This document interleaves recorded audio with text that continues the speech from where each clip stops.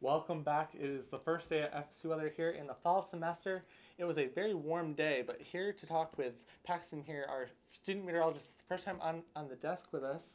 Sure is. It is. a very warm summer, Paxton. It has been indeed.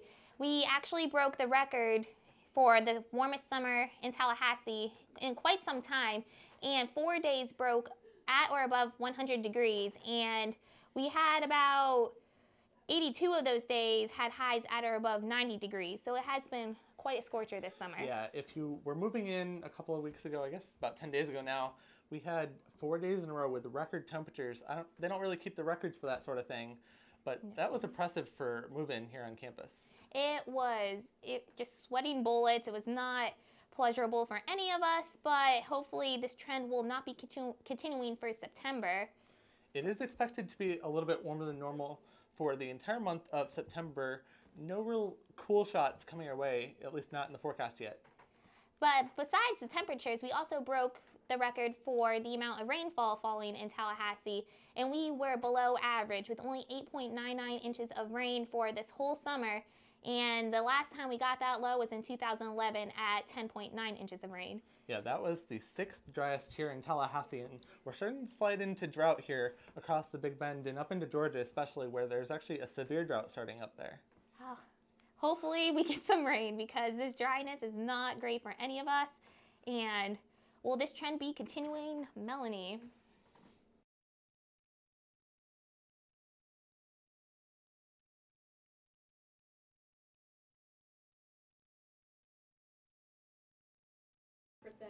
Today's almanac, though, we reached a high of 96, which is well above our average of 91 and not nearly close to our record of 98. Same with the lows, we're a little above average, but our temperatures are going to be dropping because this week the rain chances are going to be on the rise. We're going to be seeing lots of cloud cover, and that is going to lead to a slight cooling of temperatures. But starting into next week, the temperatures are going to increase again. And this is going to be the big player for our rain right now. This is a cold front that is slowly moving from from towards the south, towards the southeast, towards us.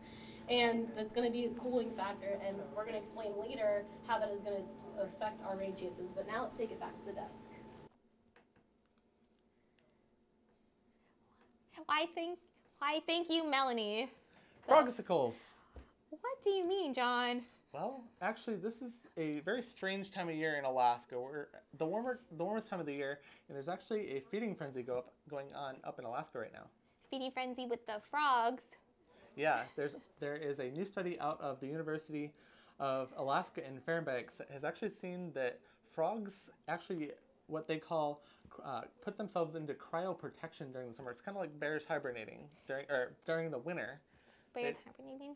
Well, basically what this means is that the frogs uh, excrete glucose from their skin, creating them, to, allowing them to freeze, but it allows their insides to keep on running, so they are alive for up to seven months.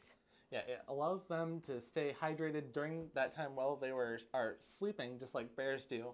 And it's a good time here because it is so hot to stay hydrated here across Tallahassee area. Jake, how hot is it out there? Guys, it's been a sizzler today. We've noticed uh, temperatures all the way up to 96 today. I don't think we broke any record. No, we did 98, but we were two degrees short today, five degrees above average, and the low was higher than average as well. But currently, over in the capital city, we're sitting at 95 degrees, even right now, with the humidity 43%, so things aren't too humid out there, but certainly a sizzler of a day uh, as we've gone around. Not too much going on right now with the cloud cover, but you see this precipitation band moving in that is associated with a high system or high pressure system up to the north of us that will be making, that'll be a big playmaker in the, in the coming days. As soon as it moves offshore, we have a cold front that's going to be moving in and stalling out. So right now, Doppler radar, not a, uh, not a lot going on, but if you look up here, you see the high pressure system bringing some precipitation in right now towards our area, and that's what we've been seeing as the big activity maker as of right now. But that's going to be changing over the next few days. And that's uh, right up here. It's going to move off towards the Atlantic. We have that uh, flow into our area, and then this uh, front's going to come in and stall. Rain chances are going up, so that's going to be the big story. So rain chances up, but the temperatures will drop a little bit, so that's a bit of a trade-off there. But as we continue to move on uh, over the next days, that's just going to be the story. Rain chances up. Going to have to keep your eyes to the skies and be prepared for that as we move on. Uh, but for tonight, anyway, we're going to be looking at 73. So still pretty warm out there. Those chances for chances of rain are actually going up tonight, as associated with that rain band we all saw coming in. So uh, winds in southwest, five miles per hour. Not a big story there, but rain is in the picture. So for tomorrow, going to be another hot one. 95 degrees. We got to keep our eyes out for the rain. Partly uh, partly cloudy skies with um, increments of sun throughout. So winds are going to pick up a little bit coming out of the south southeast as the system continues to move on towards the Atlantic and we start seeing that cold front move in and stall out. Now, for tomorrow, clouds are going to roll in 75 degrees. Keep your eyes to the skies. Like I said, chan uh, chances of rain are going up. We're going to want to watch it. Showers expected by 5 p.m. with all that heat. We're uh, just going to raise our chances to have to deal with that as the day progresses. But if we take a look at the week ahead, 95 degrees on Wednesday as we saw, then things dipping right back down to the uh, lower 90s as we go across, but rain chances are going up. So, like I said, a bit of a trade-off, but hopefully we're going to be able to enjoy somewhat milder temperatures along the way. So, for now, we're going to take things out, expand it just a little bit, take a look at the southeast with my colleague Shane. Thank you very much, Jake. Well, we haven't seen that much rain across Tallahassee uh, for, uh, throughout today, but that hasn't been the case around much of the southeast. Let's expand our radar gaze to look at the state of Florida, where you see sea breeze showers beginning to pile in across Jacksonville. Some are piling in across uh, Tampa and as well as Miami. And there's also quite a bit of rain associated with that cold front we spoke of earlier that are moving across the southeast right now. There they are coming in through the Memphis area. Spotty showers, we can follow the trail along the cold front into Tennessee, and that's going to stall out across the southeast, increasing our chances of rain later this week, starting tomorrow afternoon. So, right now, let's take a look at the current temperatures, and it is a hot day out there. I like the word sizzler. It, it re really depicts how hot it is outside. 93 in Tallahassee and 92 in Montgomery, 78 in Tupelo. Wish we were there right now, but they're only cooled off because of the rain they've been receiving, so it's probably really humid out there right now and 84 degrees in Miami, sticking is hot across the state of Florida. 71 is our current dew point, and the higher these dew points are, the more humid and sticky it feels outside. And once they break 70 degrees, ugh, it's just unpleasant outside. So we, and unfortunately, we've got a lot of 70s across the southeast from 72 in Tupelo to 73 in New Orleans. That rain is really hiking up the moisture throughout the atmosphere across the southeast and unfortunately, that humidity is just raising the current heat index. This is what it feels like outside right now 101 degrees here in Tallahassee. So we've broken the 100 degree mark, and it is a scorcher out there. Carry around the fans, the uh, light clothing, whatever you can do. Now, looking at where the water vapor is, and this is telling of where the moisture is moving across the southeast right now, we see all this building across the southeast and over northeastern Florida right now, telling that it is about to get very moist here in Tallahassee throughout the rest of the week. Speaking of the rest of the week, let's look at tonight. 73 is going to be the low in Tallahassee, 74 in Atlanta, and 74 in Tupelo. Pretty average lows for this time of year. And how high will the temperature climb tomorrow? Looking at another hot one, 95 degrees, with an increased chance of rain, raising those heat indices along with it. 95 as well in Tupelo, and 94 in Little Rock. And now it's time to send it back to the desk for another story. Why, well, some people enjoyed their Labor Day weekend and Labor Day yesterday. Not others were as lucky in Michigan and Kansas. Yeah, there were a couple of tornadoes, actually two touched down, and the National Weather Service is still doing some surveys to see if there's any others in Kansas and in Michigan. Exactly. And of these two tornadoes that touched down in Michigan, they were EF1 tornadoes and the tornado that touched down in Kansas. We're not exactly sure what the strength of it was since it has not been determined, but we all we know is that one tornado did touch down. And with all three tornadoes, there were no injuries, which we are happy to report. Absolutely. And actually, there was quite a bit of hail, so there wasn't even any damage reported, so to speak, uh, to cars or houses, which is a problem this time of year for some hailstorms. Yeah, and if you do happen to be in an area prone to tornadoes, it's important to put your car inside and all of that because you don't want to pay for the damage associated with all of that. Yeah, there. It, as of this afternoon, there was a little bit of severe weather up in uh, the northeast and into the mid-Atlantic states. Casey, do you have any information on that? Yes, let's go ahead and talk about first the temperatures across our nation right now. We're sitting at 96 degrees in the Dallas area, even warmer as we get out toward desert areas like Phoenix, 106 degrees in parts of southwest Arizona at this hour. Now, temperatures down toward the southern regions, we have 87 degrees in New Orleans, 85 degrees up in Charleston, South Carolina. Now, your heat indexes indicate the heat and the feeling of this to your skin. 102, very, very warm to your skin up toward areas like Dallas. Same in San Antonio and Phoenix as well. 102 degrees. Now getting down toward areas in the southeast, it feels a little cooler. Atlanta only 85 degrees, but New Orleans 95 degrees. They haven't really seen too much rain, but areas around Atlanta have got into some moisture activity and some rainfall this afternoon. Now, let's go ahead and take a look at that radar. We see that there were some nasty storms that were making their way out of Missouri. Last night, in fact, there were some nasty storms, even a confirmed tornado in Jefferson County, Missouri, near St. Louis. Didn't cause too much damage, but still an impact in those communities. Now down toward our area, we have seen some showers that I'll talk about a little bit later on in the weather cell in northeast Florida that are making their way towards some of our eastern counties. Now, water vapor imagery does show the moisture content in the upper levels of the atmosphere.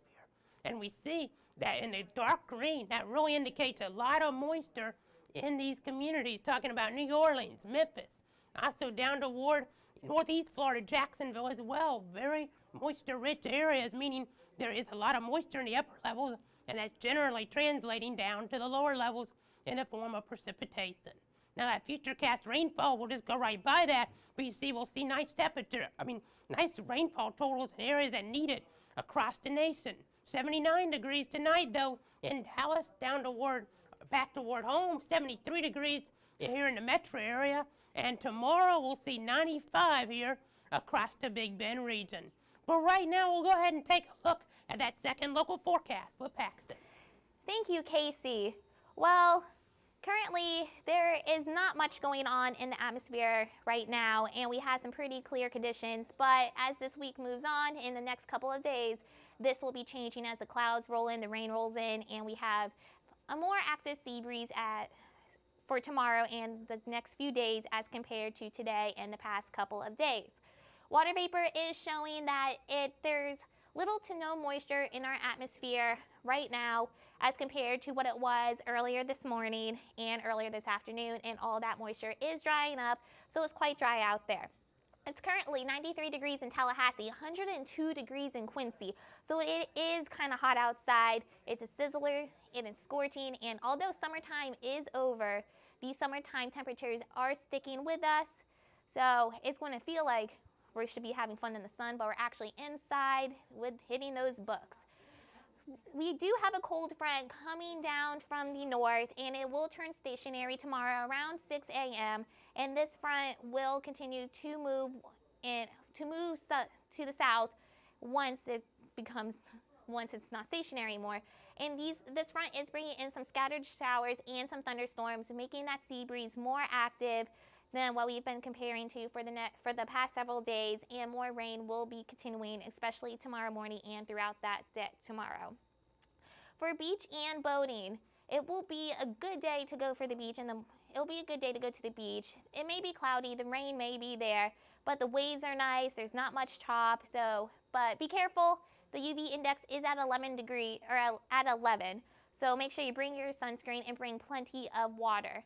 For the beach, we have surf at one to two feet. Again, reiterate, reiterating the point of 11 on the UV index, so make sure you do bring your aloe, your lotion, whatever you need to keep yourself from getting sunburn because that's nothing anyone wants to enjoy. For tonight, we have a low at 70, 73 degrees, mostly cloudy, and the rain chances are at 40% and this rain will continue throughout tomorrow like I said and for tomorrow's forecast we have a high of 95 these high temperatures are sticking around to the mid to upper 90s but we will get back down to the lower 90s as the week progresses onward because this rain will be providing a little bit of cooling relief.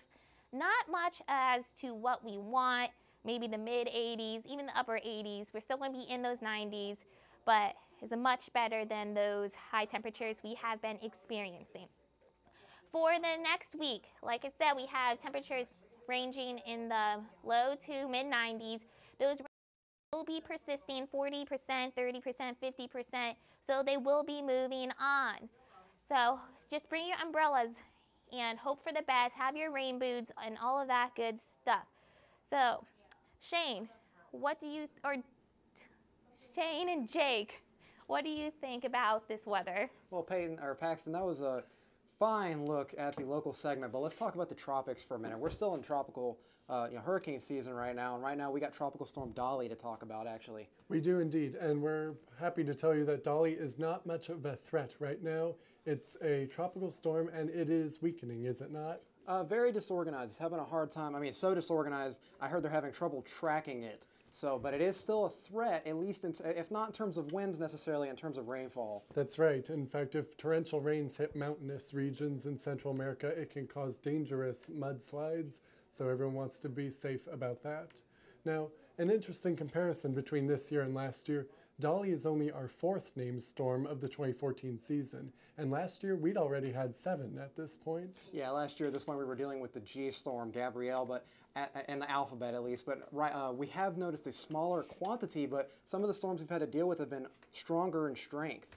Yes, that's right. We've had two Category 1 hurricanes and a Category 2 hurricane, which is more hurricanes than we saw throughout all of last year. But now let's take a look at the southeast and we're going to see uh, the Florida radar right now, which, as we spoke of earlier, is indicating primarily uh, sea breeze storms right now.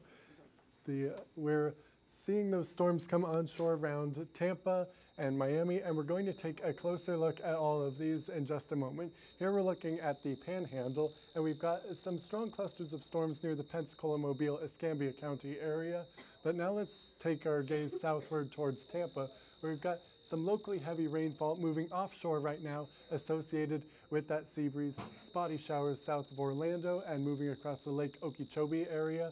And scooting further southward, we see more of the same from West Palm Beach, Fort Myers, and Naples, and then through the Everglades to the west of Miami.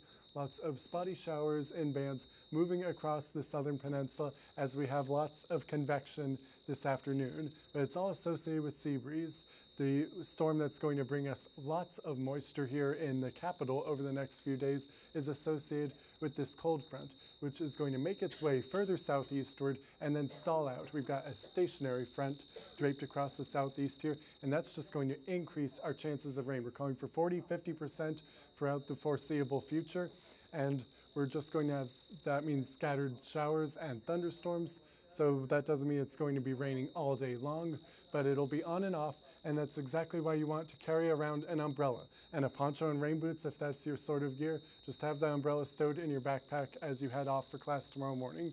It won't be raining when you hit the road, but it should start picking up by lunchtime, so you want to be prepared. Now, exactly how much rain is going to fall?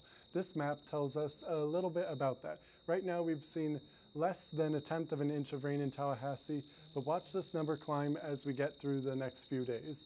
See, getting up to a quarter of an inch by noon tomorrow, and check out those numbers skyrocketing in the south. Miami and West Palm Beach could be approaching two inches of rain by this point tomorrow. So, and getting into Thursday. So, looking at that combination of sea breeze and uh, stationary front, it's just going to call for a lot of rain. So, be ready for flooding. Turn around, don't drown. So, look at how hot it's going to get tomorrow across the state. 95 here in Tallahassee, and we're the warm spot for the state of Florida, believe it or not. So we're looking at 90 degrees in West Palm Beach and Miami with increased cloudiness, not a completely sunny day throughout the southeast. But before we get there, we've got to get through tonight. And here's what the lows are looking like. 73 in Tallahassee, 76 in Tampa, 75 in Fort Myers. And that's very seasonable for this time of year. And another season to speak of is hurricane season. So I'm going to hand it over to John for a look at Tropical Storm Dolly. It's that time of year, and typically Labor Day is one of those holidays that can get washed out, out along the East Coast due to tropical systems that are moving around. And fortunately for us here in the United States, we've only had uh, four storms, and only one of them actually caused some delays across the East Coast. And that was Arthur way back on July 4th on Independence Day. That storm moved up the East Coast and through the Cape Hatteras area. Dolly is our Labor Day storm, and that is south of the border right now. The hurricane hunters were out earlier this afternoon in the western Gulf of Mexico searching the storm. They actually found that Dolly had decreased in winds from 50 to 45 miles per hour in the latest update. You can see Dolly in the western Gulf of Mexico just off the coast of Veracruz there. And that is expected to push off towards the east or off towards the west into inland Mexico. Could drop six to 10 inches of rain in some spots, upwards to a foot of rain in some spots, especially in these mountainous areas of inland Mexico over the next few hours. This will no, be no harm to Tallahassee. It's well more than a thousand miles towards away from Tallahassee here in the southwestern Gulf of Mexico. Winds again at 45 miles an hour, and the hurricane hunters are out there searching this storm, and they'll be out there throughout uh, much of the evening. This is expected to make landfall uh, late tonight into early tomorrow morning as a tropical storm. Really not expecting a whole lot of intensification out there uh, on the west coast because of all of this land. A lot of that thunderstorm activity is off towards the west. This will be a huge rainmaker for inland Mexico. Again, upwards of a foot of rain in some parts of inland Mexico. The hope is for those of you in Texas, we may see some rainfall up into the Texas area, especially southern Texas, from Brownsville up towards the Del Rio Valley and up, hopefully up, into, uh, up towards Austin, where they have been very dry as of late, much drier even he than here in Tallahassee. September is a prime month for hurricanes across the basin. We usually see a couple of storms in the Atlantic, and actually we started off this month yesterday with no tropical cyclones anywhere in the world. That's pretty rare for this month. Uh, and we're expecting a couple more storms later this month. We can't really tell where they're going to form or where they'll where they'll go right now, but this is the general trend. Uh, up towards the western Atlantic and into the Caribbean and western Gulf of Mexico. All of our storms have been in the Gulf of Mexico or the western Atlantic and trending up towards the east coast west of the Bermuda Island. Here in radar you can see most of that rainfall is well to the south, but you can see a couple of rain bands pushing into South Texas. And there's another tropical storm that is off the west coast of Mexico, which will provide some extra moisture for the Mexican mountains over the next couple of days. Back here in Tallahassee, we're looking pretty dry for right now, but there is a rain band moving in from the east coast that'll move in towards Tallahassee, but no tropical storms are on the horizon right now. But Labor Day is very normal for tropical cyclones around the world. Are there any out there across the world in anywhere? Thanks, John. Well, we haven't got any tropical systems bearing down on us right now, but what we do have is everyone's favorite segment on the FSU Weather Show coming back for another year, Today in Weather History. Yeah, I mean, uh, at Labor Day 1935, we saw one of the, arguably one of the most intense storms to ever hit the U.S. that occurred in uh, the Florida Keys. That's right. This Labor Day hurricane of 35 brought winds reported of up to 200 miles per hour with tides of up to 15 feet above average and waves 30 feet high. And this was before a lot of technology with tracking storms, so it had a pretty high death toll, unfortunately. Oh yeah, I mean, just imagine trying to hang on to a car going 200 miles per hour. It'd probably feel something, something, something like that anyway. But uh, that's today. That's it for today in terms of weather history. Let's take it over to Casey right now with our last look at the local segment. Thanks so much, guys. Let's go ahead and take a look at the radar across our Big Bend region.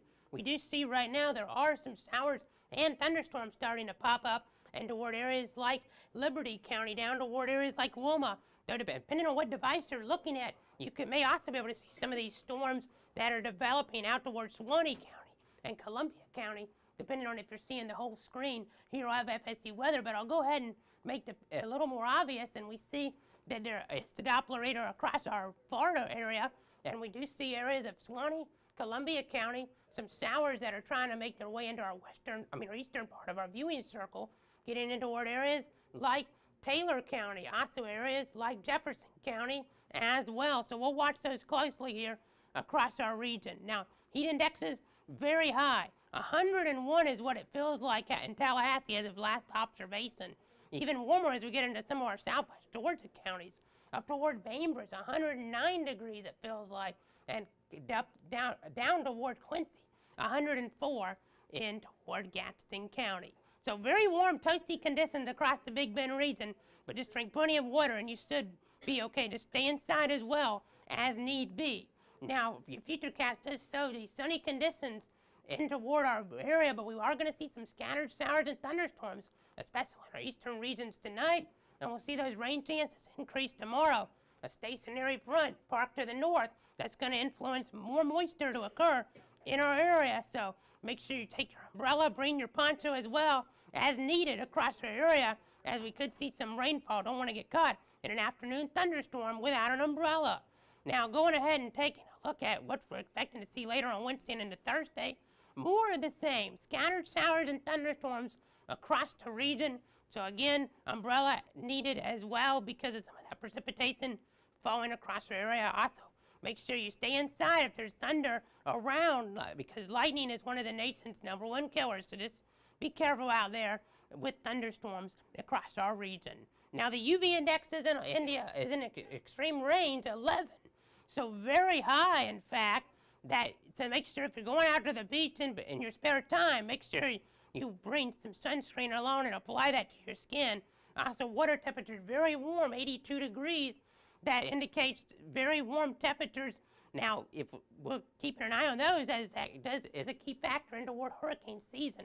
Though right now we're not really watching anything, so really no systems to take advantage of those warm temperatures.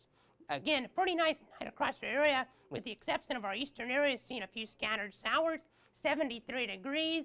Tomorrow, 95 degrees. A pretty nice day. A little warm and a little bit more thunderstorm activity than you would like to see, but just make sure you bring that umbrella. And in that seven day outlook, we see those temperatures low to mid 90s across our region for highs, low to mid 70s for lows. Rain chances stay relatively high across the area. Now back to Shane and Jake. All right, thanks, Casey. And uh, let's take one more look at some uh, local events while we tie things up here. Civility Week 2014 tonight at the uh, Seminole Uprising Pep Rally, Dick Howser Stadium, 6:30, right? Yep, that's starting in just a matter of minutes, and we can guarantee you guys pretty good weather for that. It's hot outside, but at least it's clear. Tomorrow it might not be so clear. We expect rain to be heading while we have some events at the Oglesby Union. Yeah, we got Ask a Director coming in. You can you know get answers about the union, the campus rec center, uh, things like that. It's going to be 11:30 to 1 p.m. Yes, and there's also ask or thank a professor in that time at the Union. But let's look at the seven day forecast one more time. Look at warm temperatures cooling off, thankfully, for the weekend. Yeah, those chances of rain are going back up to 50% throughout Friday through Monday. So, indeed, the rain is here to stay. But if you like us, you can follow us at Twitter and Facebook and watch us anytime at livestream.com slash FSU weather. Yeah, we appreciate you guys tuning in for our first HD edition and our first uh, show of the year this year, huh? Yes, and we look forward to an awesome year to come. I'm student meteorologist Shane Pendleton. I'm student meteorologist Jake Taylor. We appreciate everything and uh, hope you guys have a great night. Yes, uphold the garnet and gold. Oh, yeah.